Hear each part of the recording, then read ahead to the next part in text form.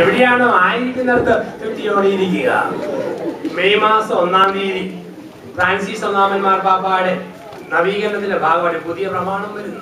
അദ്ദേഹം അത് പ്രഖ്യാപിക്കുന്നത് മെയ് ഒന്നാം തീയതിയാണ്. പുതിയ പിതാവ് ഒത്തിരിയേറെ പുത്തൻ ചിന്തകളും ഭാവനയോടാണ് അദ്ദേഹം രണ്ടായിരത്തി പന്ത്രണ്ട് വർഷങ്ങളിലെ കത്തോലിക്ക ഒരു നിയമം മാറ്റുകയാണ് മെയ് ഒന്നാം തീയതി മുതൽ. അത് എല്ലാ പള്ളികളും അറിയിക്കും. അതാണ് ഇത്രയും നാളത്തെ നിയമം താലി കെറ്റ പുരുഷനോടെ മരണം വരെ കെറ്റ പെണ്ണിനോട് അന്ത്യം വരെ. പക്ഷെ രണ്ടായിരത്തി പതിമൂന്ന് മെയ് ഒന്നാം തീയതി രാത്രി പന്ത്രണ്ട് മണി മുതൽ നിയമം മാറുന്നു. ഇപ്പോൾ നിങ്ങൾക്കുള്ള ഭർത്താവിനെ മാറ്റി ഇഷ്ടമുള്ള പുതിയ ആളെ മെയ് ഒന്നിന് എടുക്കാം. അതുപോലെ ഇപ്പോൾ നിങ്ങൾക്കുള്ള ഭാര്യയെ മാറ്റി ഇഷ്ടമുള്ള പുതിയ ഭാര്യയെ മെയ് ഒന്നിനെടുക്കാം പറയുന്നൊരു സഹോദരൻ ഇടയില്ലാഞ്ഞിട്ടും തല പൊക്കി നോക്കുന്നു. സത്യമാണോ അച്ഛാ? മാർപ്പാപ്പ പറഞ്ഞതാണോ? അതോ വെറുതെ വേണ്ടി പറഞ്ഞതാണോ വെറുതെ ഓർത്താ മതി. നടക്കാൻ പോകുന്നില്ല. വെറുതെ ഓർക്കുക. ഈ ഒരു കാര്യം ഇവിടെ അനൗൺസ് ചെയ്യാമെങ്കിൽ എന്തായിരിക്കും ഈ ഹോളിലെ പ്രതികരണം? പന്തക്കുസ്താ ദിവസം സെഗിയോൻ ശാലിനുണ്ടായ കൊടുങ്കാറ്റിന്റെ വലിയ ഏലപ്പൂടെ കേൾക്കാം. രക്ഷപ്പെട്ടു നൂറിൽ അറുപത് പേര് ഓർക്കും മാറ്റിയെടുക്കാവല്ലോ ഇരുപത് ശതമാനം പേര് പറയും ഒരിക്കൽ പെട്ടുപോയി പണിക്ക് ഇല്ലേ ഇല്ല. പത്ത് ശതമാനം പേര് പറയും നോക്കട്ടെ എല്ലാരും മാറിയ ഞാനും മാറും. ആരും മാറിയില്ല ഞാനും മാറുന്നില്ല അപ്പൊ വിശുദ്ധി എന്ന് പറയുന്നത് കിട്ടിയ പുരുഷനോട് അന്ത്യം വരെ വിശ്വസ്തയോടെയുള്ള യാത്ര. കിട്ടിയ ഭാര്യയുടെ മരണം വരെ വിശ്വസ്തയോടെയുള്ള യാത്ര. ഇതാണ് വിശുദ്ധി. ഒന്ന് വിജ്ഞാനം രണ്ട് വിശുദ്ധി മൂന്ന് വിവേകം. കുടുംബത്തിൽ വിവേകം വായിൽ നിന്ന് പോയ വാക്കും കയ്യിൽ നിന്ന് പോയ കല്ലും തിരിച്ചെടുക്കാൻ പറ്റിയ കെട്ടിയോട് പറയാം അരിശം വരുമ്പോൾ താൻ പോകുന്ന വഴിക്ക് വണ്ടി ഇടിക്കത്തെ നീ ചത്താ നീ വേറെ നിന്നെ കേട്ടാവാൻ വെറുതെ പ്രതീക്ഷ കൊടുക്കുന്ന വാക്ക് വെറുതെ പറഞ്ഞേക്കരുത് നടക്കുന്ന കാര്യം മാത്രമേ പറയാവുള്ളൂ. ഈ വിവേകമില്ലെങ്കിൽ വർത്തമാനത്തിൽ മാത്രം എപ്പോഴും ഭാര്യയെ കുറ്റം പറയുക. ഭാര്യയുടെ അപ്പനെയും അമ്മയും ആങ്ങളമാരെയും സഹോദരിമാരെയും കുറ്റപ്പെടുന്ന കെട്ടിയവൻ വിവരം കെട്ട കെട്ടിയവനാണ്. ഭർത്താവിന്റെ വീട്ടുകാരെ താഴ്ത്തി പറയുന്ന ഭാര്യ വിവേകമില്ലാത്ത സ്ത്രീയാണ്. മക്കളുടെ മുമ്പിൽ ഭർത്താവിനെ പുച്ഛിക്കുന്നവൾ വിവേകമില്ലാത്ത ഭാര്യയാണ്. മക്കളുടെ മുമ്പിൽ ഭാര്യയെ അധിക്ഷേപിക്കുന്നത് വിവരമില്ലാത്ത ഭർത്താവാണ്. ഒറ്റയ്ക്ക് മുറിക്കുള്ളിൽ എന്ത് പറഞ്ഞാലും ആരെയും കേൾക്കൽ ആരെയും ആക്ഷേപിക്കരുത്. സ്വന്തം പെങ്ങളുടെ കൂടിയോട് ഭാര്യയെ കുറ്റപ്പെടുത്തുന്നവൻ സ്വന്തം ആളുകളോട് കൂടി കൂടി കെട്ടിവനെ പുച്ഛിക്കുന്നവൻ. ഇതൊക്കെ വിവേകമില്ലാത്ത ജീവിതങ്ങളാ. അപ്പൊ വിവേകം വളരെ പ്രധാനപ്പെട്ടതാണ് വിവേകമില്ലാത്ത വർത്തമാനം ഒരിക്കലും പറഞ്ഞേക്കരുത്. വിവേകമുള്ള വാക്കുകളെ പറയാവൂ. വിവേകമില്ലാത്ത വാക്ക് പറഞ്ഞാൽ അത് കുടുംബത്തിൽ പ്രശ്നമായിട്ട് മാറുന്നു. ഉദാഹരണത്തിന് ഭർത്താവും ഭാര്യയും കൂടി രണ്ടു ദിവസം പിണങ്ങിയിരുന്നു. മൂന്നാം ദിവസം ഞായറാഴ്ച ഭാര്യ പള്ളിയിൽ പോകാൻ ഒരുങ്ങുക. കെട്ടിയോൻ ഇണങ്ങാൻ വേണ്ടി ചെന്ന് ചോദിച്ചു നീ പള്ളിയിൽ പോവാണോടി? അല്ല നരകത്തിൽ പോവാ.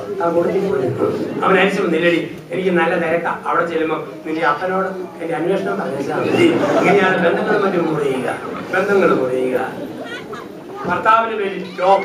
ടോം ടോം എന്ന് കേട്ടാൽ അവൻ അരിച്ചു. ടോം കുട്ട ടോം കുട്ട വിളിച്ചാൽ സന്തോഷം. അങ്ങനെ ടോം കുട്ട ടോം കുട്ട തന്നെ വിളിക്കണം. ഭർത്താവിന്റെ ഒരു കണ്ണ് അല്പം ചെറിയ കണ്ണ്. ആ കണ്ണിനെ കുറിച്ച് കേൾക്കുന്നത് അരിശമാണ്. ഇവിടെ അരിശം വരുമ്പം വജ്രായെന്ന് പോലെ വിളിക്കുന്ന വാക്ക് കൊച്ചറക്കണ്ണ പോങ്കണ്ണ പോങ്കണ്ണ കൊച്ചറക്കണ്ണ തിരുത്താൻ മേലത്തെ വാക്ക് പറയരുത്. എന്റെ ഭാര്യയുടെ പേര് മറിയ. മറിയ എന്ന് കേട്ടാൽ അവർക്ക് ചോറിയും മറിയാമ എന്ന് വിളിച്ചാൽ കിട്ടി കിട്ടും അങ്ങനെയെങ്കിൽ മറിയാമ മറിയാമ അങ്ങനെ തന്നെ വിളിക്കണം. ഭാര്യയ്ക്ക് ഇഷ്ടപ്പെട്ട സാധനമാണ്. പരിപ്പുവടയും പാളയംകോടും പഴവും. വിഭാഗ ഭാഷയിലും കുഞ്ഞുങ്ങളുടെ ജന്മദിനത്തിലും അഞ്ചാറ് വടിയും പഴവും കൂടെ ഒരു കടലാസിൽ പൊഞ്ഞിട്ട് മോളെ മറിയാമേ കടിക്കടി വടാപഴം പൊതി എന്ന് പറഞ്ഞ് കൊടുക്കുന്ന ഭർത്താവ് വിവേകമുള്ള ഭർത്താവ്. പെണ്ണുങ്ങളുടെ ശരീരത്തെ കുറിച്ച് കമന്റ് പറയരുത്. എത്ര സൗന്ദര്യം ചോർന്നു പോയാലും നല്ലതേ പറയാവൂ. എന്റെ ഐശ്വര്യായി കഴിഞ്ഞാൽ പിന്നെ ആയി നീയാണ് നിനക്ക് മഹാഭാഗ്യം പക്ഷെ ചില ആണുങ്ങളും ഉള്ളതങ്ങ് വിളിച്ചു പറയും എന്റെ അയലോകത്തെ ആര്യസ് മൂന്ന് വെച്ചിട്ടും മുഖത്ത് നല്ല തുണിത്തം ദേഹത്ത് നല്ല മിനിസം നീ ഒന്നും പറ്റുമ്പോൾ ആഫീസ് പോയത് ഇത് കൂടുതൽ വർത്തമാനങ്ങൾ ഒരിക്കലും പറഞ്ഞേക്കരുത്. ഞാൻ സാധാരണ പറയാറുള്ളതാണ് ഭർത്താവും ഭാര്യയും കൂടി ഒരു മാസം പിണങ്ങിയിരുന്നു. അത് കഴിഞ്ഞ് വിവാഹ ഭാഷയത്തിൽ ഇണങ്ങാൻ തീരുമാനിച്ചു എങ്ങനെ ഇണങ്ങും? ഹോട്ടലിൽ പോയി ഭക്ഷണം കഴിക്കാൻ തീരുമാനമെടുത്തു.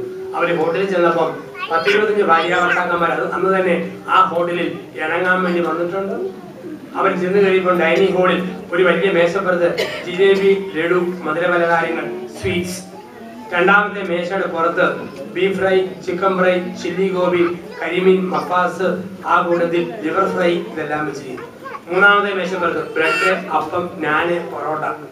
എല്ലാവരും കയറിയിരുന്നു ഒരു കിട്ടൻ ഇണങ്ങാൻ വേണ്ടി പറഞ്ഞു എന്റെ സ്വീറ്റി കുറെ സ്വീറ്റ്സ് എടുത്തു തരാം. അവൾ മധുരപലഹാരം എടുത്തു കൊടുത്തു അവരെ ഇണങ്ങി. രണ്ടാമത്തെ കിട്ടിയവൻ പറഞ്ഞു എന്റെ കരളെ ലിവർ ഫ്രൈ അവിടെ വന്നു മൂന്നാമത്തെ ഭാര്യ പറഞ്ഞു ഇങ്ങനെ ഒരു പറ മനുഷ്യ ഞാനും ഒന്ന് ഇണങ്ങട്ടെ അവ നിർദ്ദേശം പറയുക എന്റെ പോത്തെ ആ ബീഫ്. അതോടെ കുട്ടേടിയുമായി നോക്കിയും പറയണമെന്ന. വിവേകമുള്ള വാക്ക് പറയണം. വിവേകമില്ലാത്ത വാക്കുകൾ ഉള്ളത് പറയരുത്. പരസ്പരമൃഗമായ ജീവിതം. ഒന്ന് വിജ്ഞാനം. രണ്ട് വിശുദ്ധി. മൂന്ന് വിവേകം. നാല് വിധേയത്വം കുടുംബത്തിൽ ഒരു വിധേയത്വം. പ്രത്യേകിച്ച് പറയുക സ്ത്രീകൾക്ക് പുരുഷന്മാരെക്കാൾ കൂടുതൽ വിധേയത്വം കാരണം ദൈവത്തിന്റെ സൃഷ്ടികർമ്മം അങ്ങനെയാണ്.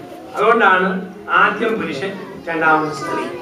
ഇത് സൈക്കോളജിയിലും കറക്റ്റാണ് പ്രസവം വേദന ഇതിനൊക്കെയുള്ള കഴിവ് സ്ത്രീക്ക് കൂടുതലാണ്.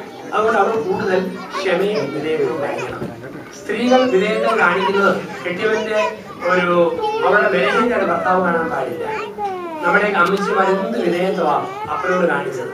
അങ്ങനെ കുടുംബം നിലനിന്നു വിധേയത്വം പൊട്ടിയപ്പോഴാണ് യൂറോപ്പിലും അമേരിക്കയിലും വിവാഹ ജീവിതം തകർന്നു പോയത്. അതുകൊണ്ടാണ് ടോണി ബ്ലെയർ ആംഗ്ലിക്കൻ ചർച്ചിൽ നിന്നും കാത്തലിക് ചർച്ചിലേക്ക് ചേർന്നപ്പോൾ അദ്ദേഹം പറഞ്ഞ വാക്ക് ഓർക്കണം. ആ മനുഷ്യൻ പറഞ്ഞു ഇംഗ്ലണ്ടിന്റെ എക്കോണമി രക്ഷപ്പെടണമെങ്കിൽ ഇംഗ്ലണ്ട് രക്ഷപ്പെടണമെങ്കിൽ ഇന്ത്യൻ പെണ്ണുങ്ങളെ പോലെ വിധേയത്വമുള്ള ഭാര്യമാർ കൂടുതലുണ്ടാകണം ഇന്ന് അമേരിക്കയിൽ ചെല്ലാമെങ്കിൽ ഏറ്റവും കൂടുതൽ ഐക്യു ഇന്ത്യൻ വംശജരുടെ മക്കൾക്കാണ് മനഃശാസ്ത്രത്തിൽ അവർ പറയുന്നത് വീട്ടിൽ ചെല്ലുമ്പോൾ ശിരസായ അപ്പൻ ഉടലായ ഭാര്യ റോൾ മോഡൽ അത് കുഞ്ഞുങ്ങളുടെ പഠനത്തെ ബാധിക്കും. അതേസമയം അവിടുത്തെ മക്കളോ മലേഷ്യയുടെ കിറ്റ് ചൂടപ്പം പോലെ വിറ്റഴിക്കും. കാരണം അമ്മ എവിടാന്ന് അവർക്കറിയാം. ഡേയിൽ സമ്മാനം ഇങ്ങനെ കിടക്കുക. കാരണം സൈക്കോളജിക്കൽ അപ്പൻ ഫിലാഡൽഫിയായി ഫിസിയോളജിക്കൽ അവൻ അറ്റ്ലാന്റയിൽ സ്പിരിച്വൽ അവൻ ചിക്കാഗോയിൽ അപ്പന്മാരിങ്ങനെ വീതം വെച്ച് കിടക്കുക പിന്നെ അപ്പനെ കണ്ടുപിടിക്കണമെങ്കിൽ ജി പി എസ് നാവിഗേറ്റർ വെച്ച്. അങ്ങനെയുള്ളത് അത്രയും പിള്ളേർക്ക് ക്വാളിറ്റി വളരത്തുള്ളൂ അത് പിന്നീട് ഇനി വരുന്ന കാലത്ത് സമൂഹത്തിന്റെ ചീത്തയാകുന്നതിന്റെ കാരണം അതാ. പഴയ മനുഷ്യരുടെ ക്വാളിറ്റി ഇത് നഷ്ടപ്പെടുകയാണ് പഴയ മനുഷ്യരുടെ ക്വാളിറ്റി ഇപ്പൊ നമ്മുടെ ഏറ്റവും വലിയ നേട്ടം ഈ വിധേയത്വമാണ്. മനോഹരമായ പുസ്തകമുണ്ട്. The transition of and American history. അവിടെ നമ്മൾ വായിക്കുന്ന ഇങ്ങനെ the transition of American and European history അവിടെ നമ്മൾ വായിക്കുന്നത് ആയിരത്തി തൊള്ളായിരത്തി അമ്പത് വരെ നമ്മളെ പോലെ അന്തസ്സുള്ള കുടുംബജീവിതം വെള്ളക്കാർക്കുണ്ടായിരുന്നു. പക്ഷേ രണ്ടാം ലോകമഹായുദ്ധം കഴിഞ്ഞ് അനേക യുദ്ധത്തിൽ കൊല്ലപ്പെട്ടു. പെണ്ണുങ്ങൾ വിധവകളായി. വിധവകളായപ്പോൾ പണി നടത്താൻ ആൾക്കാരില്ലാത്തതുകൊണ്ട് ഏഷ്യ ആഫ്രിക്കയിൽ നിന്നും ആണുങ്ങളെ ഇറക്കുമതി ആണുങ്ങൾ കൂലിപ്പണിക്കാരെ പോലെ ജീവിച്ചു. അവർ ഈ പെണ്ണുങ്ങളുടെ പാർട്ടേഴ്സ് ആയിട്ട് മാറി. പണിക്കാരോട് കാണിക്കുന്ന പുച്ഛം ഭർത്താവിനോട് കാണിച്ചു തുടങ്ങി ആയിരത്തി തൊള്ളായിരത്തി അമ്പത് അന്ന് മുതൽ കുടുംബങ്ങളിൽ മുടിഞ്ഞു പല വളരെ ബലമുള്ള കുടുംബങ്ങൾ കുറവാണ് അത് പിള്ളേരുടെ കാരണം മയക്കമരുന്ന് അഡിക്ഷൻ മോഷണം പിടിച്ചു എല്ലാമായിട്ട് മാറും അത് ഭയങ്കരമായ വിപത്തിനെയാണ് സൂചിപ്പിക്കുക. പക്ഷെ നമ്മുടെ ഏറ്റവും വലിയ ബലം കുടുംബവിധേയത്വമാണ് കാര്യം കാണിക്കുന്ന അത് ഭാര്യയുടെ അവതാരി കൂടിയാണെന്ന് പറഞ്ഞത് ചില ആളുകൾ വളരെ ക്രൂരരാണ് എങ്കിൽ പോലും നല്ല സ്ത്രീകൾ കണ്ണടച്ചു വിടുന്നു മക്കളെ പ്രതി. അമ്മയും മറ്റും പഠിപ്പിച്ച മാതൃകയുടെ പേരിൽ. ഇന്ന് വിധേയത്വം കുറേയൊക്കെ കുറഞ്ഞു വരുന്നു. പ്രത്യേകിച്ച് നമുക്ക് പണമൊക്കെ വരുമ്പോഴത്തേക്ക് പെണ്ണുങ്ങൾ ആണുങ്ങളെ കൂടുതൽ ഭരിക്കുന്ന ഒരു രീതി. അതുകൊണ്ടാണ് പറയുക നാട്ടിലെ പല ആണുങ്ങൾക്കും ഭാര്യയെ പേടിയാണ്. ഈ ഭാര്യയെ പേടിയിൽ നിന്നാണ് എന്ന വാക്ക് വരുന്നത്. അതുപോലെ തന്നെ ഭാര്യയെ ജന്മനാ പേടി അതാണ് ബി ജെ പി എന്നറിയപ്പെടുന്നത് ഇന്ന് ഭയത്തിന്റെ ഒരാൾ ഡോക്ടറെ സംബന്ധിച്ച് ഡോക്ടർ എനിക്കെന്നെ ഭാര്യയെ പേടി. അയാൾ പറഞ്ഞു പേടിക്കാനൊന്നുമില്ല. രണ്ട് അടിച്ചതുപോലെ അഭിനയിക്കുക. മുണ്ട് പൊക്കി കുത്തുക. തലകടി ശരിക്കും കിട്ടുക. വീടിനെ ബാധിച്ചെന്ന് ചെന്ന് പറയുക പുല്ലാണേ പുല്ലാണേ. ഭാര്യ എനിക്ക് പുല്ലാണേ. ഇവനിങ്ങനെ ഫോമായി മുണ്ടും മടക്കി കുത്തി ഗേറ്റിന്റെ പറഞ്ഞു. പുല്ലാണ് പുല്ലാണ് ഇത്രയും കിടന്ന് ഭാര്യ ചെലവേം ചൂലുമായിട്ട് വരാതെ ഇറങ്ങി വന്നു ഇതാണോ താൻ പറയുന്നത് ചോദിച്ചു അവന്റെ സകല ശക്തിയും അവർ പുല്ലാണേ പുല്ലാണേ ഈ മുറ്റം നിറയെ പുല്ലാണേ. അവിടെ കുത്തി എന്ന് പഠിക്കാൻ തുടങ്ങിയെന്ന് അങ്ങനെയുള്ള വിജയത്തിന്റെ ലോകത്തില്ല. ഒരു മനഃശാസ്ത്രജ്ഞൻ അഞ്ഞൂറ് കെട്ടിയവന്മാരെ ഒരുമിച്ചിരുത്തി കുടുംബബന്ധത്തെ കുറിച്ച് പഠിപ്പിക്കുക. അങ്ങനെ പഠിപ്പിക്കുന്ന കൂട്ടത്തിൽ മനഃശാസ്ത്രജ്ഞൻ പറഞ്ഞു ഇന്ന് പലയിടത്തും ആണുങ്ങൾക്ക് പെണ്ണുങ്ങളെ പേടിയാണ് പെണ്ണുങ്ങൾ പറയുന്നത് അതുപോലെ കേൾക്കുന്ന ആണുങ്ങളുടെ എണ്ണം വർദ്ധിച്ചു വരുന്നു ഞാനൊന്ന് ചോദിക്കട്ടെ? ഭാര്യമാര് പറയുന്നത് അതുപോലെ കേൾക്കുന്ന കെട്ടിയവന്മാര് എന്റെ അടുക്കിലേക്ക് വരാൻ നാനൂറ്റി തൊണ്ണൂറ്റി ഒമ്പത് കെട്ടിയവന്മാരും റോക്കറ്റ് വേഗത്തിൽ ഓടി വന്നു ഞാൻ അടുത്തും വരച്ചു ഒരുത്തൻ കാര്യമേ കാര്യം കെട്ടി വെച്ച് ഒരുങ്ങി ചിരിച്ചോണ്ടിരുന്നു പറഞ്ഞു ഒരാളെങ്കിലും ഉണ്ടല്ലോ. സ്വന്തം തീരുമാനമുള്ളയാൾ ഭാര്യമാര് പറയുന്നത് അതുപോലെ കേൾക്കുന്നവർ വരാൻ പറഞ്ഞപ്പം ഇത്രയും പേര് വന്നപ്പം ഇങ്ങനെ മാത്രം വന്നില്ലല്ലോ. ഇങ്ങോട്ട് മുമ്പോട്ട് വന്നാണ് ഇങ്ങനെ പോളിസി ഇവന്മാരോടൊന്ന് പറയാൻ പറഞ്ഞു. അയാൾ പറഞ്ഞു എന്റെ പൊന്നു സാറേ പ്രത്യേക പോളിസി ഒന്നുമില്ല. ഇങ്ങോട്ട് പോരാൻ നേരത്തും എന്റെ ഭാര്യ എന്നോട് പറഞ്ഞായിരുന്നു. പല അവന്മാരും അങ്ങോട്ട് വാ ഇങ്ങോട്ട് വാ എന്ന് പറയും. അനങ്ങി പോയാൽ. അന്ധമായ വിധേയത്വത്തിന്റെ ലോകത്തിലാണ് ജീവിക്കുക. ഇവിടെ വിധേയത്വം എന്ന് പറഞ്ഞാൽ ഒത്തിരി കാര്യം കുടുംബത്തിന് നന്മ വരുന്നതാണ്. ഭാര്യ കുറെ കാര്യം കണ്ടില്ല കേട്ടില്ല കണ്ണടയ്ക്കുക. ഭർത്താവും കുറെ കാര്യം കണ്ടില്ല കേട്ടില്ല എന്ന് കണ്ണടയ്ക്കുക. നന്മ വരുന്നിടത്ത് അതിനെ കണ്ണടയ്ക്കുക. വിധേയത്വം അഞ്ച് വീണ്ടെടുത്തു. ദൈവം ഒരു പുരുഷനെ സ്ത്രീയെ ഏൽപ്പിച്ചത്. ഒരു സ്ത്രീയെ പുരുഷനെ ഏൽപ്പിച്ചത് വീണ്ട് എടുക്കാൻ വേണ്ടിയിട്ടാണ്. വീണ്ടെടുപ്പ് അതുകൊണ്ടാണ് ഒന്ന് കൊറിയന്ത്യർ ഏഴാം അധ്യായം പതിനാലാം വാക്യത്തിൽ നമ്മൾ ഇങ്ങനെയാണ് വായിക്കുക. ഒരു ഭർത്താവ് ഭാര്യ മൂലം വീണ്ടെടുക്കപ്പെടും. ഒരു ഭാര്യ ഭർത്താവ് മൂലം വീണ്ടെടുക്കപ്പെടും. അത് ദൈവത്തിന്റെ നിശ്ചയമാണ്. ഭർത്താവിന്റെ കുറവ് ദൈവം ഭാര്യയെ കൊണ്ട് നികത്തും. ഭാര്യയുടെ കുറവ് ദൈവം ഭർത്താവിനെ കൊണ്ട് നികത്തും. ആ ദൈവത്തിന്റെ പ്ലാനും പദ്ധതിയുമാണ് ഒരാളുടെ കുറവ് മറ്റേയാൾ പരിഹരിക്കും. ആ രീതിയിൽ ആ ക്രമീകരണം ഓർത്ത് നോക്കിക്കേ. പള്ളിയിൽ പോകാൻ മടിയുള്ള കെട്ടിയവന് പള്ളിയിൽ നിറങ്ങാത്തവൾ ദൈവം കൊടുക്കും. ബൈബിൾ കൈകൊണ്ട് തൊടാത്തവന് ബൈബിൾ താഴെ വെക്കാത്തവന് ദൈവം കൊടുക്കും. പ്രാർത്ഥന ബോറായവന് പ്രാർത്ഥന നിർത്താത്തവളെ ദൈവം കൊടുക്കും. ഞെളിഞ്ഞു നടക്കുന്നവന് കുനിഞ്ഞു നടക്കുന്നവളെ കൊടുക്കും. അന്താരാഷ്ട്ര ഫിസിക്കന് ഇന്റർനാഷണൽ ദൂർത്തധികാരിയെ കൊടുക്കും. ആ ദൈവത്തിന്റെ രീതിയാണ്. നമുക്കറിയാം സാധാരണയായിട്ട് ആണുങ്ങൾക്ക് പ്രാർത്ഥന അത് ബോർ പെണ്ണുങ്ങൾക്ക് പരമ സന്തോഷം സിറ്റിക്ക് പോയിട്ട് രാത്രി എട്ടരയ്ക്ക് കയറി വരുന്ന കെട്ടിയവന്റെ ആദ്യത്തെ ചോദ്യം കുരിശ് കഴിഞ്ഞു ഇല്ലെങ്കിൽ കക്ഷി ഒന്നുകൂടെ ടൗണിൽ പോകാൻ തയ്യാറായിട്ടാണ്. പക്ഷെ പെണ്ണുങ്ങളാണല്ലോ ഈ ഫ്രാൻസിസ് ഒന്നാമൻ മാർപ്പാപ്പ കൊമ്പയുടെ അഞ്ചാം ദിവസം കണ്ടുപിടിച്ചെങ്കിൽ അതുകൂടെ ചെല്ലാവാൻ ഈ പോക്ക് എന്നാണോ ഇത് കണ്ടുപിടിക്കാൻ പോകുന്നത്? ആണുങ്ങൾക്ക് മനക്കെട്ടി കൂടുതൽ പെണ്ണുങ്ങൾക്ക് കുറവ്.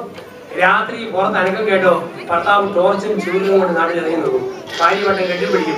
പെണ്ണു മനുഷ്യ പോകല്ലേ മാപ്പാണി ചാപ്പാണി പൂപ്പാണി പോയെങ്കിൽ ഇവർക്ക് മനക്കെട്ടി കുറവ്. ആണുങ്ങൾക്ക് തൊലിക്കെട്ടി കൂടുതൽ പെണ്ണുങ്ങൾക്ക് തൊലിക്കെട്ടി കുറവ്.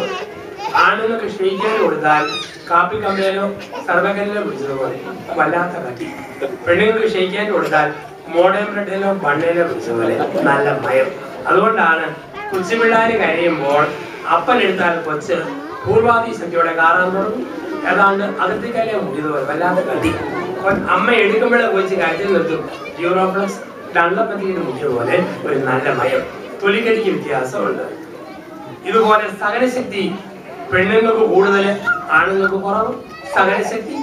അത് ഇന്ത്യ വരുമ്പോഴാണ് ഇന്ത്യ വിട്ടാൽ ആണുങ്ങൾക്കും പെണ്ണുങ്ങൾക്കും ഒരേ സഹനശക്തി. ചിലത് ആണുങ്ങൾക്കാണോ കൂടുതലെന്ന് എനിക്ക് തോന്നിയിട്ടുണ്ട്.